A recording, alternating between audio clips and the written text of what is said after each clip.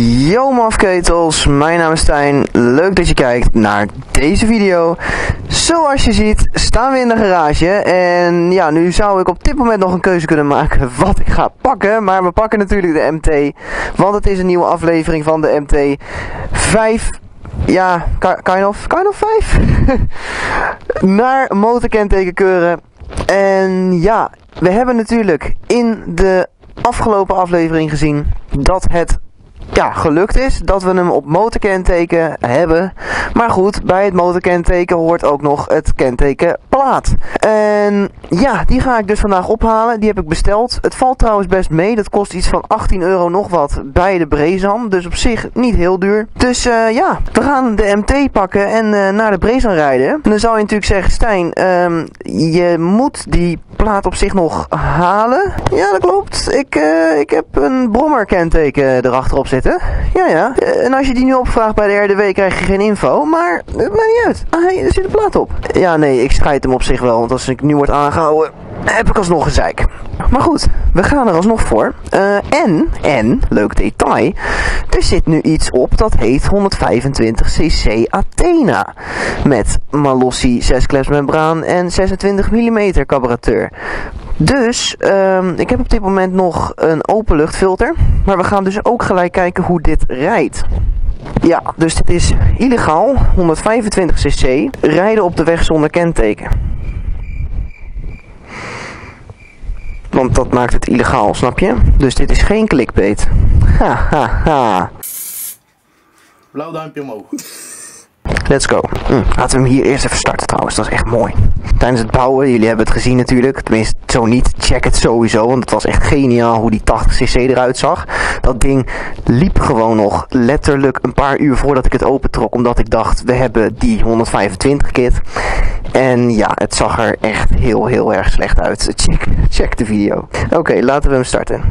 Uh, ja, ik ga even met kraan open kijken hoeveel... Ik weet echt niet hoeveel benzine er nog in zit eigenlijk. Oké, okay, met choke. Oh shit. Woehoe. Oké, oké. Dit is zo vet hè. Kijk dit.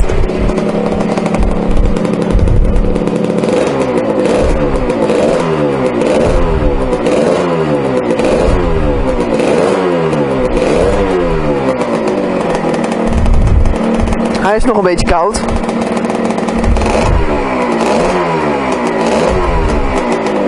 Zo, tering gaaf. Oké, let's go.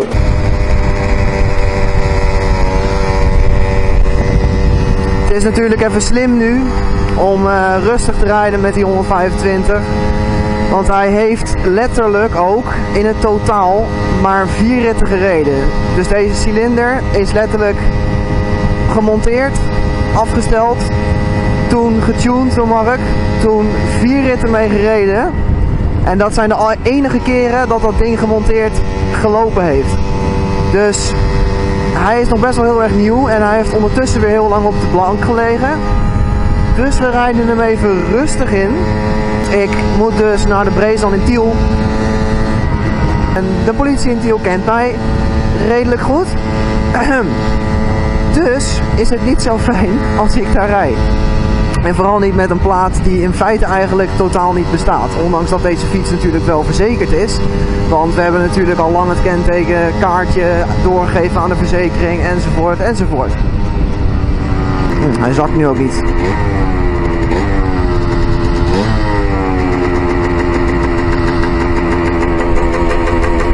Hij loopt echt een beetje alsof hij ook gewoon voor de crosserij staat afgesteld. Zo van, hij moet hoogstationair, anders kakt hij sowieso in.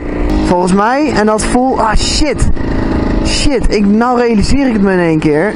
Ik moest de linkerkant nog een heel klein beetje aandraaien. Want hij zat rechts verder vast. Althans, hij zat rechts zeg maar luchtdicht. Maar als ik links trapte voelde ik soms nog een heel klein beetje lucht. Plus inderdaad dat ik nog een heel klein beetje dat fluiten ook had. Voor degene die het dan afvragen. Ja, dan gaat hij ook een beetje fluiten tussen die aluminium pakking door. Dus, um, wat zijn deze pipo's aan het doen?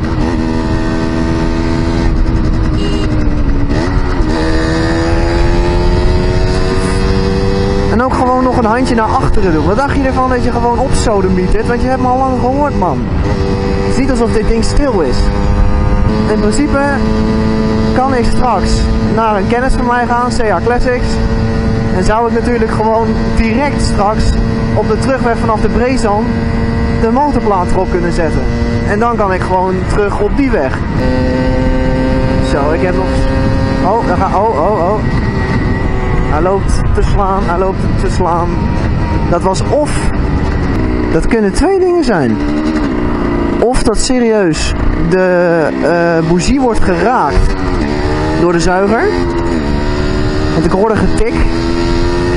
Of ik hoor dat getik sec omdat er dus uh, valse lucht aan de linkerkant zit. Ik hoop het tweede. Maar ik hoor dus tussendoor getik. En dat is niet goed. Uh-oh.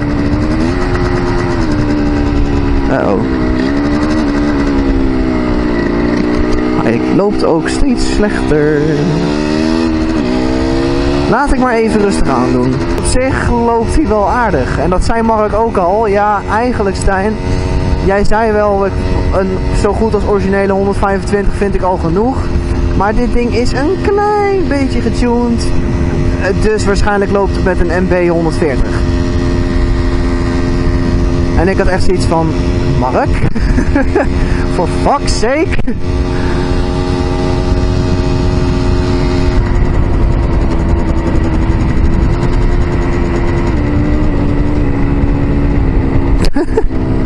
Alsof ik aan het terugschakelen ben.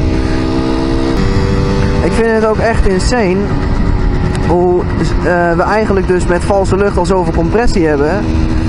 En hoeveel vermogenwinst je waarschijnlijk nog hebt als die dus echt afgesloten is. Want ik weet ook niet, ik denk ook nu zelfs niet, dat ik niet in een powerband kom. Omdat het dan zoveel compressie is, dat hij dan dus ja, verlies leidt, zeg maar, erop. Oké. Great. Ik denk dus dat deze kant iets verder moet worden aangedraaid. Ja, ik denk het wel.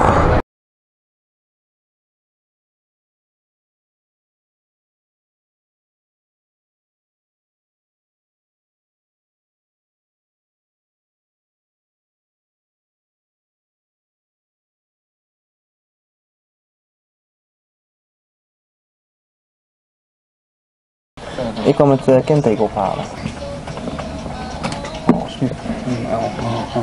En hebben jullie eigenlijk ook de plaathouders? Deze autofiets Ja. hebben? Ja, die heb ik gewoon. Nice. Uh, kan ik niet ergens pakken? Oh, dat kan je wel. Ze liggen uh, daar zo. Die auto wel pakken. Oh ja, dat Dat is... Uh... We zijn we weer. We zijn we weer buiten. En uh, ja, die plaat gaat eraf, uh, denk ik. Dat is mooi, want dan rij ik uh, even een CR Classics, dat is hier om de hoek.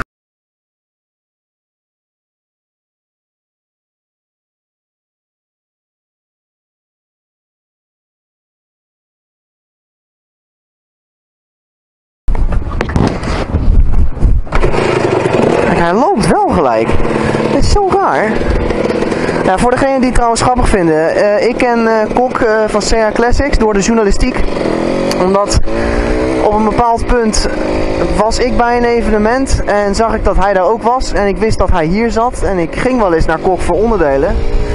En ja, toen raakten we eigenlijk in gesprek over de journalistiek. En zodoende zijn we nu kennissen van elkaar op het gebied van journalistiek, dit en nou ja, enzovoort. Superleuk.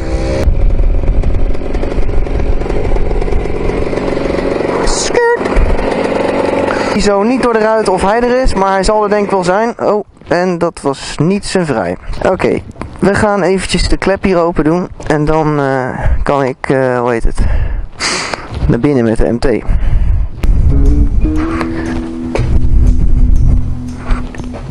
Hallo?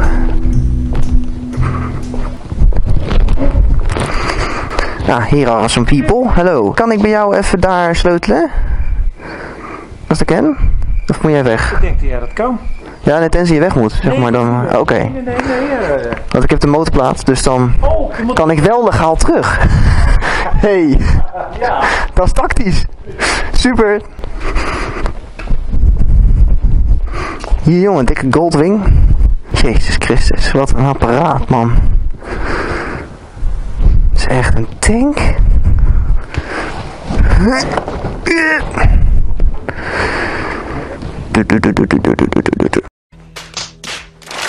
Blok ter breedte van een eh, CBX 1000.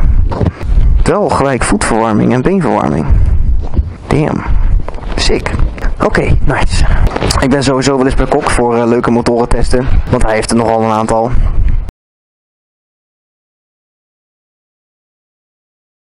Ontwikkeld in Nederland. Dit is gewoon verzonnen door meneer Bakker himself.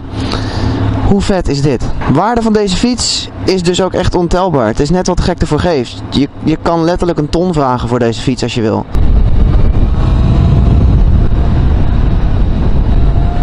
Oké.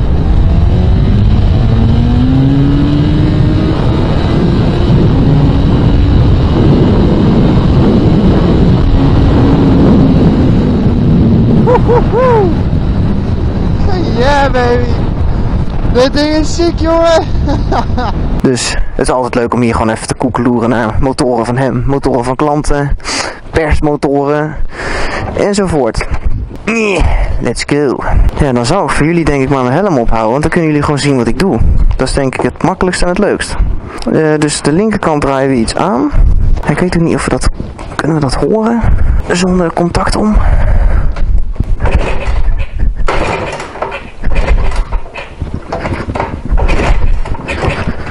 Nee, je hoort zo geen gefluit. Vreemd.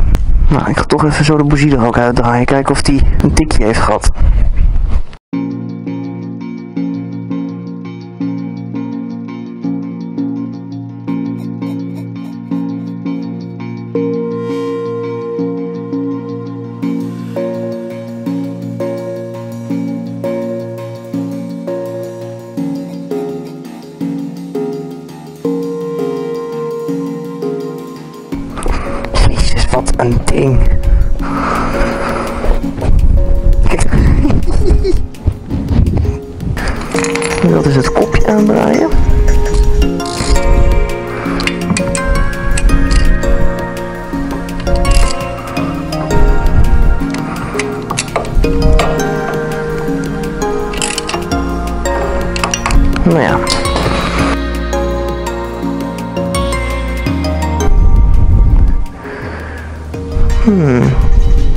Ik zou zeggen dat hij niet op zijn flikker heeft gehad en hij is ook richting koffiebruin. Maar ja, als hij natuurlijk compressie verliest.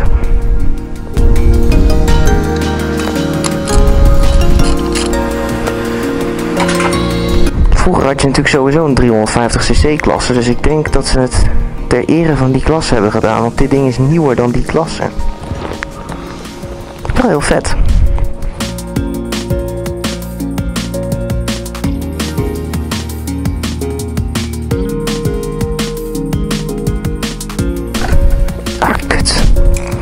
Ik heb ze wel gemonstreerd.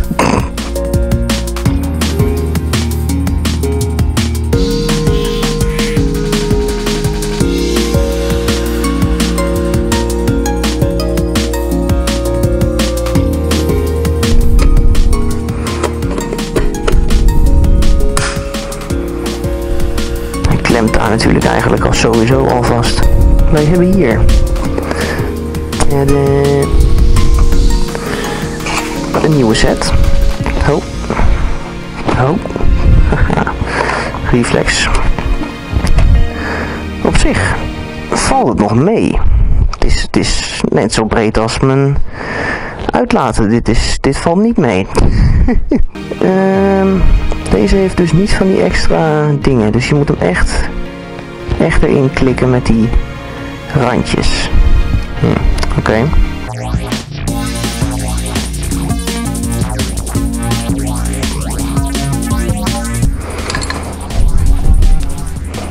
Nice, mijn plaats zit alleen een beetje scheef, maar boeien.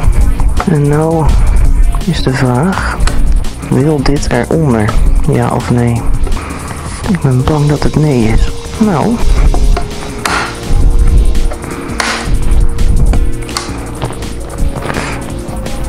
Tering. Ik wil toch minstens één van de twee eronder hebben. Niet echt het gevoel dat ik hem zo ga verliezen, maar toch.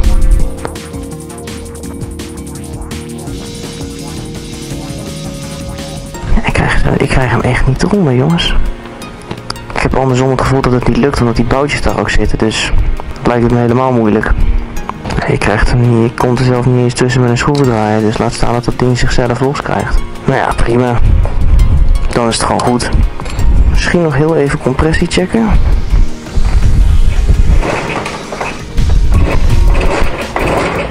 In ieder geval geen gefluit. Nu met contact.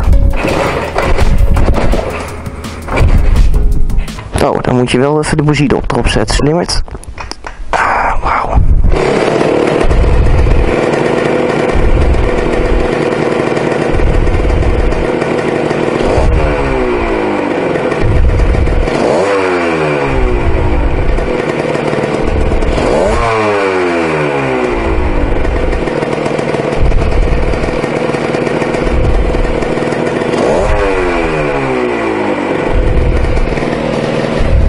Nou, ik denk dat we hem aardig hebben.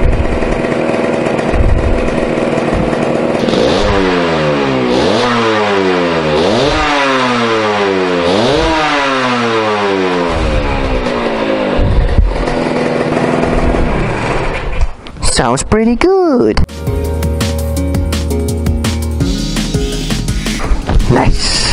Oh ja, ik heb dit ding trouwens ook getest, eh, mensen. Daar komt later nog een video van. Dit is een, eh, een eh, 1000, een Nederlands gebouwde 1000. Ik ga er voor de rest nog niet veel info over geven, maar een hele zieke fiets. Ja, nu is het te hopen dat hij toch echt wel gewoon op zijn plek blijft. Ja, hij zit erop. Het is alleen dat... eh, Gecertificeerd te hard rijden. eh, ja, ik ga ook gelijk de 80 wegpakken. Kut. Het enige is met dat, met dat kliksysteempje, dus je moet ze erachter klikken. Normaal heb je dan nog van die schuifjes, weet je wel. Maar dat heeft deze niet. En nou zit hij dus, ja hij zit, maar onderaan zit hij dus niet. Het is echt, je kunt zo hard duwen hier als je wil, maar je krijgt er niet onder. Of hem erachter eigenlijk. Erachter moeten schuiven. Ja, maar dat moet je dus ook boven doen. Want dat is het hem dus. Bij deze klik je hem dus helemaal. Dan loop je het risico dat je los Ja, maar goed, tegelijk. Ik krijg hem zelfs wat überhaupt nu onmogelijk los. Jawel. Ik ga dit optrekken. Nee, jij gaat het naar achter. Oké.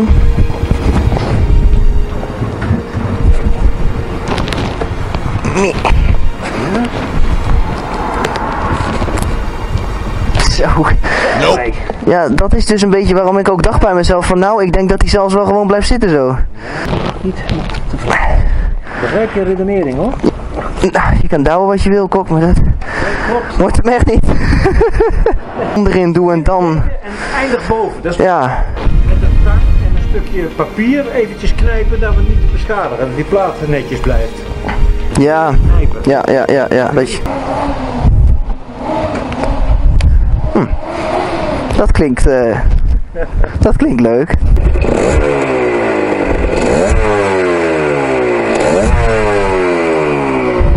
Snelheid, maakt niet uit. Wel goed.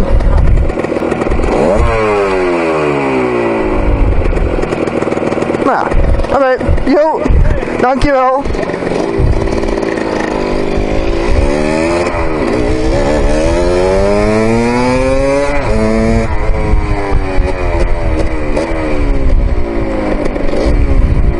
Ja, volgens mij trekt hij nu al beter op. Het is alleen nog wel afstelling nu.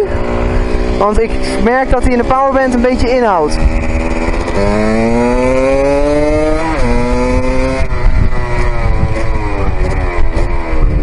Maar het kan natuurlijk ook de uitlaat zijn, omdat hij natuurlijk wel wat kleiner is in vergelijking met wat deze cilinder zou kunnen. Maar dat weet ik. Want in principe moet hij in zijn twee gewoon hele erge wheeliepotentie hebben en dat heeft hij nu niet. Dus de afstelling moet echt wel worden verbeterd. Plus ik weet niet hoe mijn ontsteking staat. Dat is ook nog een dingetje. Maar dat wordt bij een volgende video gecheckt. En weet je wat nou zo gek is? Hè? Uit automatisme rijd ik hier dus nu gewoon die 60 weg op. En ik denk er niet eens over na, weet je dat? Normaal rijd ik daar. Yo, dit is raar.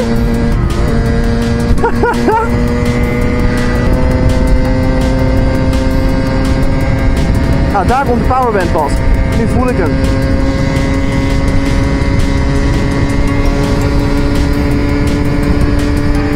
Yo, ik heb nog nooit zo hard gereden met MT.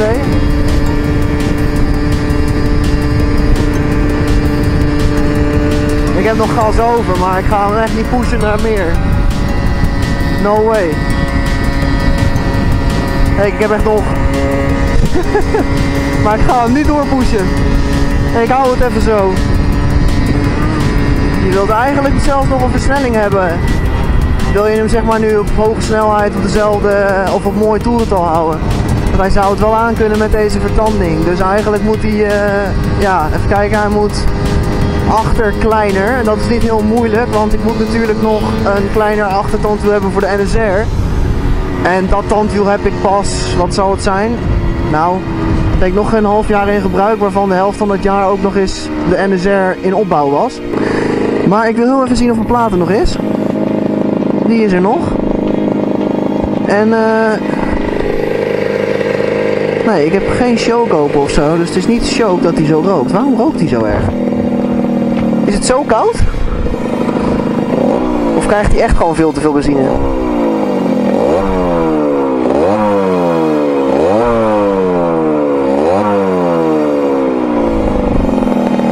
Ja, dat, dat loopt best wel te trillen.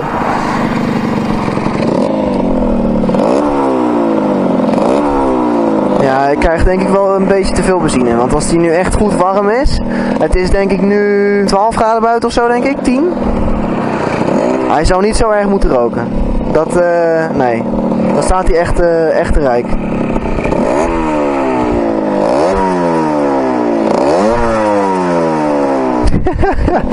Tegelijk klinkt hij wel tering gaaf. Oké, ik zal straks even de bougie eraf trekken. En dan gaan we hem sowieso verder afstellen.